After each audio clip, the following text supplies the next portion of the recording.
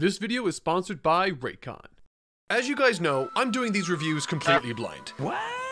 And so, all I see when I look at my bookshelf is a clear delineation between two colors, white and black. These obviously represent two separate parts of Naruto, and because I only had one arc left in the white section, I was interested to see just how Kishimoto would end this part of the story. And I'm gonna be honest, I also looked at this last arc, and instead of seeing just a story, I saw eight full volumes for me to finish reading before I could begin writing this video. However, once I finished this arc, I noticed something. Something I had harshly criticized this story for not having has now become one of its strongest attributes. Today, I want to share with you all my first impressions and review for the final arc of original Naruto, and what an arc it is.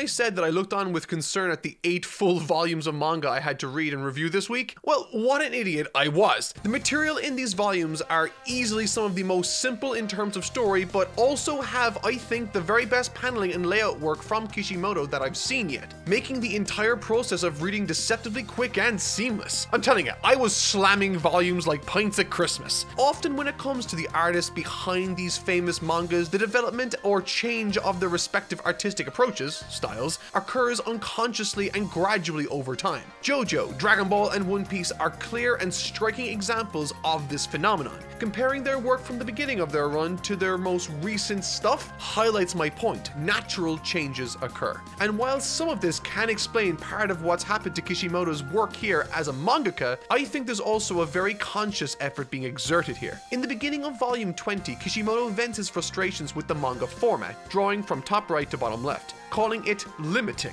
And this frustration can be felt in the volumes concerning this section specifically, sporting gorgeous pages and panels that really grab my attention, the likes of which I haven't seen much from Kishimoto at all. It's wonderful to see a mangaka 200 chapters into his career still trying to push himself to innovate. But what's interesting about this change compared to the aforementioned mangaka is that Kishimoto's transition is directly influenced by the very thing that's trying to mimic him. That's right, Kishimoto was directly influenced by Naruto's anime's character designer, Tetsuya Nishio. He saw some amazing design work coming from Nishio on the anime and loved how it seemed like such a great mix of seinen and shonen styles. He thought it was the ideal art style he'd been looking for, and ever since, he'd been mimicking Nishio's drawings. In a lot of these author notes sections, Kishimoto brings up many famous animators such as Hiroyuki Okiura, who worked on super famous scenes on things like Ghost in the Shell and Akira, which makes me think he's a bit of an animation nut. I mentioned one particular animator who has largely defined what Naruto action is, and that's Norio Matsumoto. Sasuke versus Orochimaru, Rock Lee versus Gaara, Orochimaru versus the third Hokage, and now Naruto versus Sasuke. All these iconic scenes come from this man, and as I've watched those and continued to read, I've noticed Kishimoto's work beginning to resemble the energy and posing found in Matsumoto's work. I can only theorize about his influence here, but given Kishimoto's love of animation, it seems like a safe bet. Having already achieved so much notoriety in the industry with so many people at this point looking up to him, I think it's a great sign of a mangaka and a person to be able to look outward and inward for a means to try and improve himself. It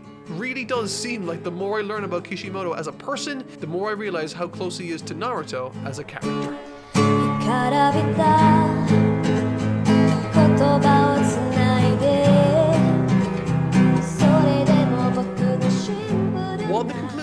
Prior arc's activity with the assault on the village after being dealt with and the selection of the latest Hokage after being finalized, I was fully expecting this arc to feel like a footnote after everything that's happened.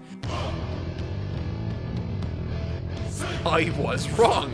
Despite being one of the longest arcs among the material I've covered so far, the story in question is remarkably simple, which meant that a lot of space was given to this arc's various components to breathe, build up, and climax appropriately. And boy, do they climax appropriately. The first act of this arc is the one that carries most of the heavy lifting from an expository and foundational sense, upon which the rest of the arc launches from comfortably. That said, the rest of this arc consists of a series of fights and chase scenes, and that might not sound interesting, but Kishimoto makes it work really well. Act 1. If I could describe this arc in one word, it would be cathartic and focused. Having come off the back of a rip roaring couple of arcs with more conflict than you could swing a cat at, going into this, I was curious to see the direction Kishimoto was going to take. Sure, we'd have to deal with the aftermath of the attack on the village and Lady Tsunade settling into her new position, but outside of that, I didn't see much else to deal with outside of perhaps the Itachi and Sasuke conflict. In the last arc, while I didn't speak much about it, Itachi very much cemented himself as one of the most terrifying major players in the story. As soon as he appeared on the other side of the door facing Naruto, I sincerely felt the tension and pressure rise, which is exactly the sort of impression you want from a major villain or antagonist. And the action and drama that took fuel from that encounter as Sasuke entered the fray to make the save on Naruto, it felt like a monumental moment in every sense of the word that was building to something. However, then the rug is pulled from beneath us.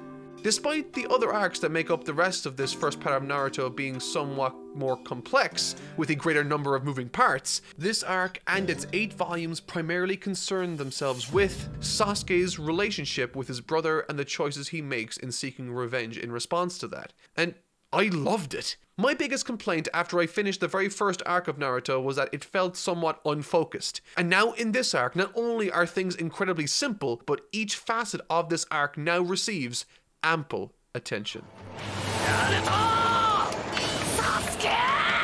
Sasuke vs Naruto Round 1. Funnily enough, despite being mentioned once before that Sasuke desired to test himself against Naruto, this matchup for one reason or another faded into the back of my subconscious as something I either didn't know I wanted or one that I totally forgot about. And I have no idea why because on paper these two squaring off makes complete sense and are a terrific matchup narratively speaking. I mentioned before in an earlier video that I felt the closer Naruto came to achieving his goal, the farther away Sasuke would be pushed by his. With Orochimaru having laid that metaphorical Chekhov's gun before us when he said Sasuke needs to seek out more power by embracing the darkness in his heart, I knew a scene or sequence of events would play out like this, and it's so much better than I thought it would be, made possible thanks to some key pieces of symbolism laid out across this series. The initial fight that kicks off this arc's activity is short but punctuated powerfully by a striking visual by really putting into perspective the gap that's appearing between himself and Naruto. However, at this point in the story, I think it's important to point out that their relationship isn't necessarily interesting to me because of their dynamic on its own, and that largely has to do with Kakashi and Jiraiya pretty much telling us explicitly what's happening narratively between them. We're not left to understand this on our own by reading the material and understanding it ourselves, and as a result, this exposition feels clunky and did take away from this short but opening fight between them. Then again, this is a manga for young teens, so I'm gonna let it slide. I will, however, say what I did really enjoy was the role mentors are playing in this story. Whether that be Kakashi and Sasuke, which I will definitely speak about more later, Jiraiya's relationship with Naruto as I've described in the past, Sakura's new budding relationship with Lady Tsunade, and of course, Guy's relationship with Rock Lee. Rock Lee's been an interesting character in this story. From the moment I met him back during the Chunin exams, I knew I liked this little guy. With him time and time again throughout the story, whether it be in the Forest of Death, the fight with Gaara, or his rehabilitation after that fight, he sort of, in a way, stood as an example of what a hero with a similar mentality to that of Naruto might appear like if he didn't have an all-powerful spirit trapped within him. When Naruto, in the first half of this story, contended with inadequacy and a chip on his shoulder, eventually Kishimoto was forced to transition his character from one that struggled to make a difference to one who had to deal with the high expectations from those around him. Lee, on the other hand, because of the lack of advantages he has compared to Naruto, can fully lean into and embrace angles an outcast character like Naruto once was afforded. Naruto can self-heal thanks to the fox spirit inside him, and so a natural way to explore Lee's character to further distinguish him from Naruto is to have him absorb a tremendous amount of damage and the consequences of that action. Which brings me to his mentor, Guy. In many ways, the mentor characters in this story mirror key attributes of their students' personalities. Guy is perhaps the most pronounced variation on this concept. Everything from his appearance to his desire to prove himself against Kakashi to his soul-destroying training exercises. In every sense of the word, the connection between Guy and Lee is as powerful as it is because they feel like father and son. Once again providing Lee in this story horrific odds for anyone to have to face, let alone a young teenager. I spoke about Guy before in a prior part saying that I thought he saw a tremendous amount of himself in Lee and due to that sees him as something of an inspiration to even him.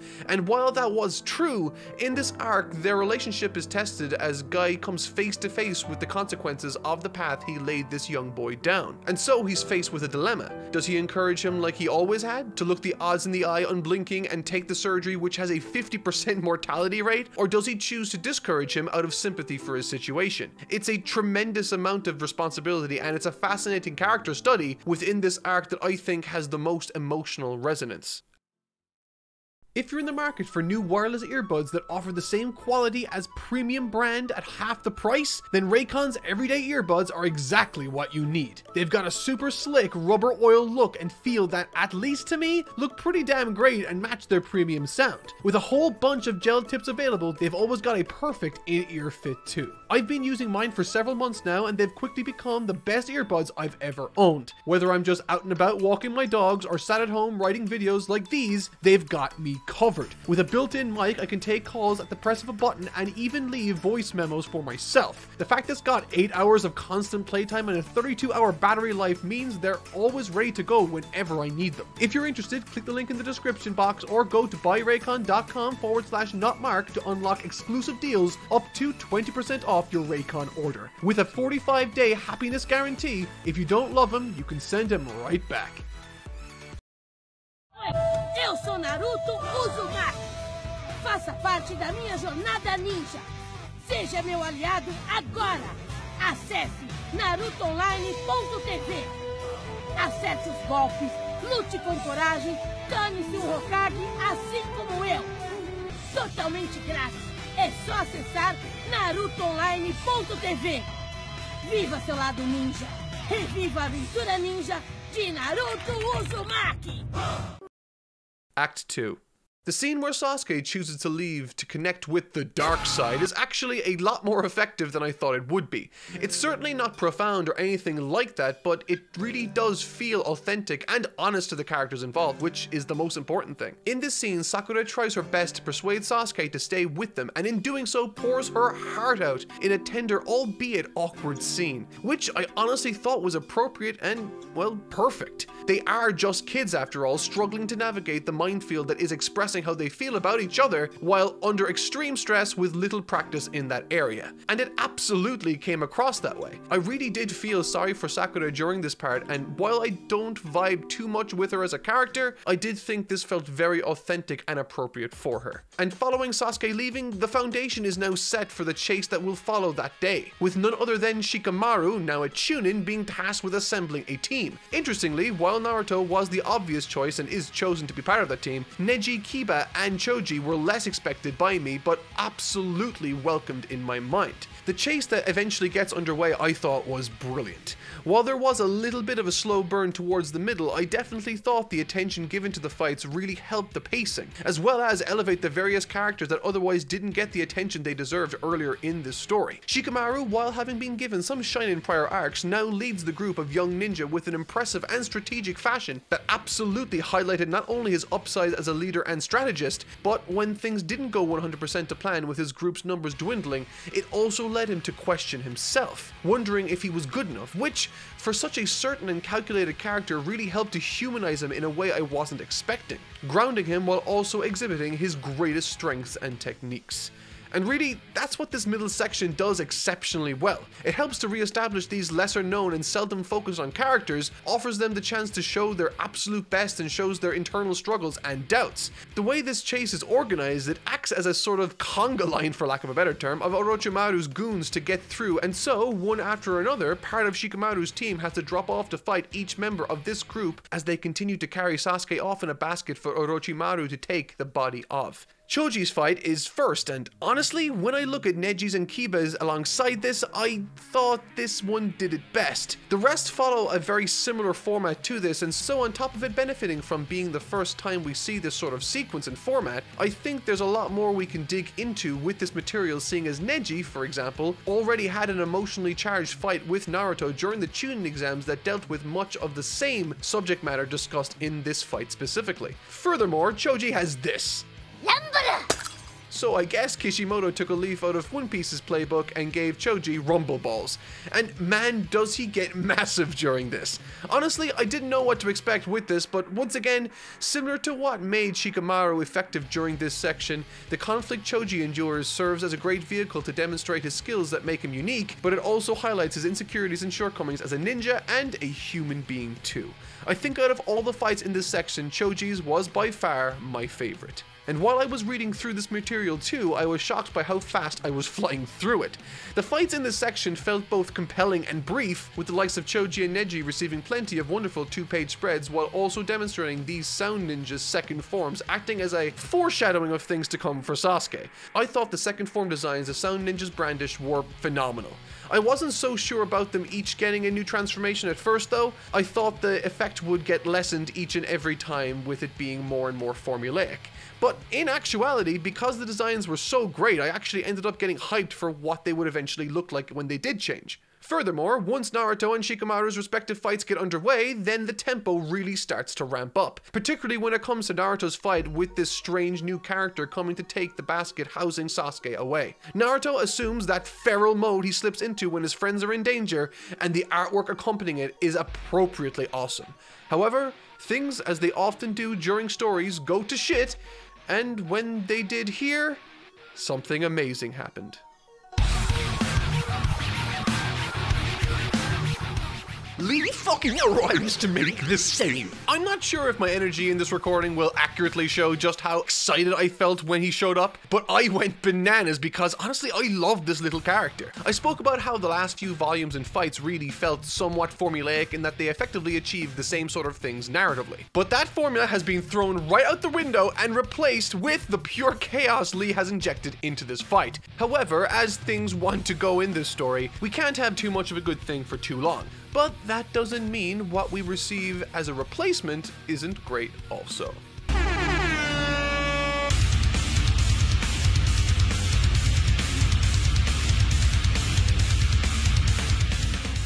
At the beginning of Volume 24, Kishimoto reminisced about his experience reading Dragon Ball Volume 24 for the first time and how that was where Goku fought against Ginyu. He described the affair as something he was massively excited to read through and hoped that he could make Naruto more exciting.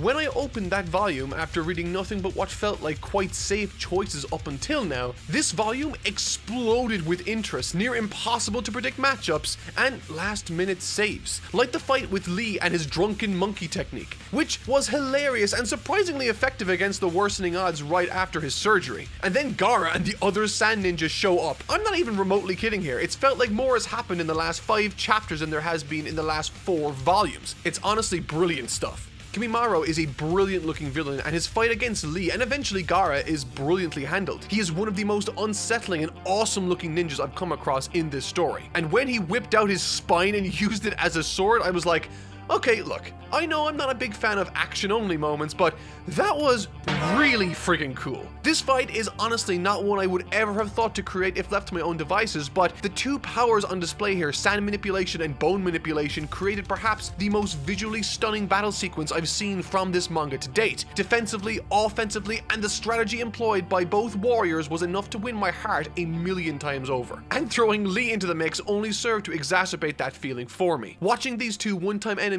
work together and in a sense save each other was immensely satisfying. And we're not done yet. There are moments in pop culture where you have to sit back and recognize that this was a moment not only pivotal to the story that it takes part in, but one that has influenced and impacted the lives of millions around the world. For me, that moment was Goku versus Vegeta. It was the very first piece of material I ever saw of Dragon Ball, and because of the impact that had on my life, I've gone on to make it my career. And this fight, Sasuke versus Naruto, this really and truly felt like the culmination of the entire series. Conveyed perfectly by Kishimoto as the strengths Naruto has garnered across his time spent with us are all used here to full effect. From his most bombastic and ostentatious abilities like the Shadow Clones and the Rasengan, all the way to the more subtle touches like when he learned to walk on water with Jiraiya. All of these skills are on display here and used to full effect serving to heighten the drama and make this feel like we've reached a significant endpoint. What did catch me off guard, however, was that a massive portion of this fight is spent in flashback. A brilliant flashback, but it surprised me nevertheless. The flashback for Sasuke, while long, added so much to an occasion that felt as though it was starved of Sasuke's perspective. We got to see the decaying of Sasuke's relationship with his brother and the origins of his entire purpose in life to get revenge. But one thing I will say about this before I move on is that I get the feeling that we're missing a large part of this story, namely Itachi's perspective on everything. Now, it might very well just turn out to be the case that he's a cold-blooded murderer that has no redeemable qualities, but who knows, I'll see how that plays out in the future. Concerning the fight itself, the action in the opening minutes felt appropriately shocking and confusing due to Naruto's perspective. However, once the flashback revealing Sasuke's motivations and full backstory concluded, the fight suddenly felt both appropriate for each respective character and, most importantly, perfectly focused. The paneling and layout work by Kishimoto, as I mentioned earlier with the Gaara and Rock Lee encounter, is some of the best in the series with Kishimoto really demonstrating how far he's come as an artist, going from strength to strength leading to Naruto charging up his Rasengan and Sasuke his Chidori, with the paneling accompanying this being stronger than anywhere else I've seen in the manga. There's a point of view shot from underwater as we look on as these two ninjas dance on the water's surface, with their weapons floating down to the dark depths beneath, and that might be my favorite page out of the entire conflict here. However, if I want to take a step back for a second and think about things more abstractly, it is my belief that the flashback we get after this concerning Kakashi's origins holds a lot more meaning behind it than might be evident at first glance. In this flashback, Kakashi's team is composed of three individuals himself, a young boy called Obito Uchiha, and a girl called Rin. And from this reflection on his early training days, we can see why perhaps he's taken a keen interest in Sasuke, taking him under his wing, seeking to teach him the Chidori technique. Of that original group, Obito was clearly the overly emotional underachiever like Naruto was in Sasuke's group, while Rin could be a very convincing stand-in for Sakura, given that Sakura herself would begin studying the same jutsu Rin was. However, while reading this material, I couldn't help but cast my mind back to the first arc where Naruto, Sasuke, and Sakura sat before Kakashi. In that very scene, Sasuke explained in no uncertain terms what his goals were, demonstrating his single-minded approach in becoming a ninja, and over the course of that story, this focus has remained. And with the farther and farther he pursued that line of thinking, Kakashi began getting more and more interested and involved in Sasuke's life, and I think there's a reason for it. He saw himself in Sasuke. Kakashi's flashback, wherein we first see him use the Chidori technique, he does so not taking into account how his actions will affect his teammates.